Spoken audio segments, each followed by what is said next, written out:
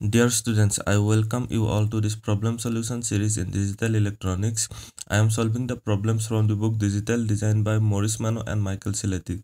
So in this video, I am solving the problem number 1.35 from chapter number 1.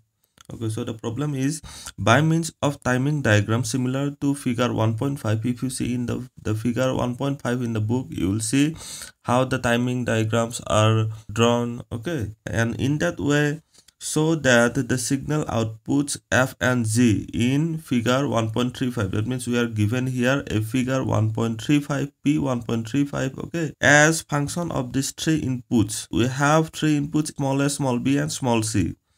And we have to use eight combinations of this a, a b and c and we have to represent their outputs f and g. Here this f output is nothing but a b c whole bar.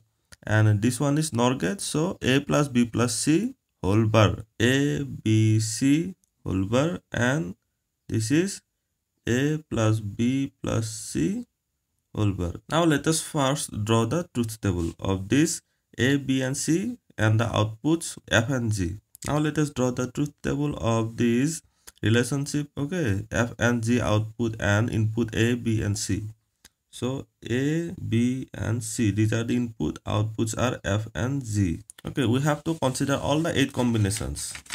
So let us first write down the 8 combinations. 0, 0, 0, 0, 0, 1, 0, 1, 0, 0, 1, 1, 1, 0, 0, 1, 0, 1, 1, 1, 0, 1, 1, 1. Now let us find out the F and G. In the case of AND gate, if any one of the input is 0, the output is 0. So in case of NAND gate, if any one of the input is 0, the output will be 1 because it is inverted.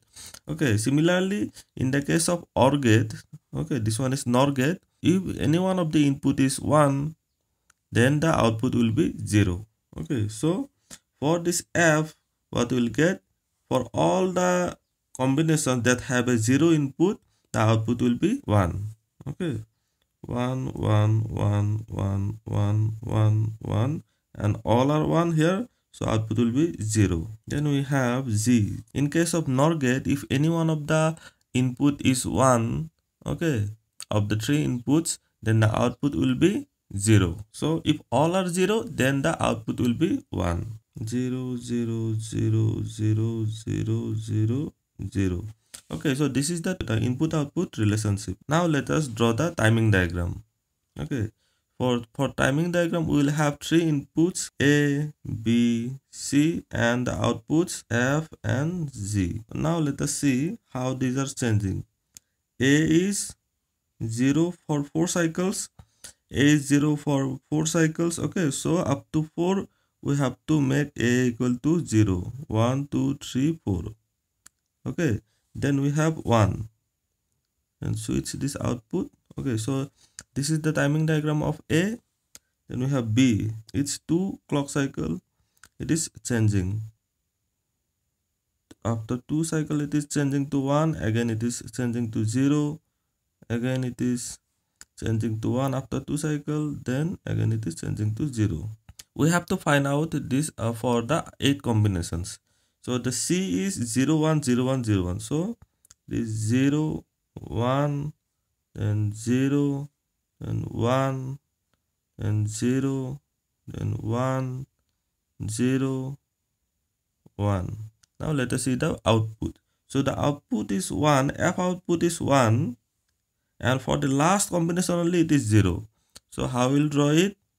So if it is 1 and if it is 0, so we will draw like this f is 1 up to the 7th okay then it becomes 0 and for the z it is first cycle is 1 and that all the remaining cycle is 0 so it is 1 then it has 0 okay. This is the timing diagram of this a b c input and output f and g so thank you for watching. If you have any question please put it in the comment section below. Also like share and subscribe to my channel. Thank you